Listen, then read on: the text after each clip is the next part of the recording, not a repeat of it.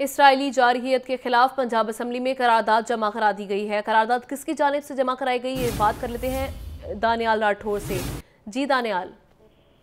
जी बिल्कुल इसराइली जारियत के खिलाफ पंजाब असम्बली में करारदाद जमा करवाई गई है और करारदाद पाकिस्तान मुस्लिम लीग नून की रुकन पंजाब असम्बली कमल लियाकत एडवोकेट की जानब से जमा करवाई गई है।